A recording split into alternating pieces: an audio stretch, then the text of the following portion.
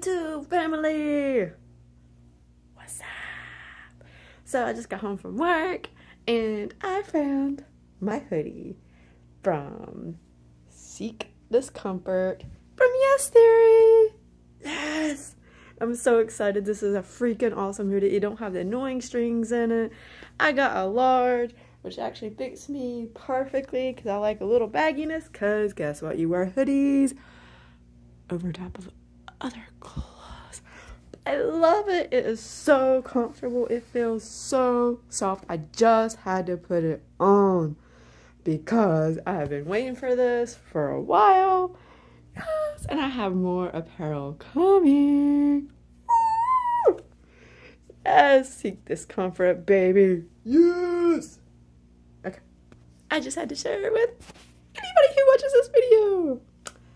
Please like and subscribe for more content. Thank you. Have a good night.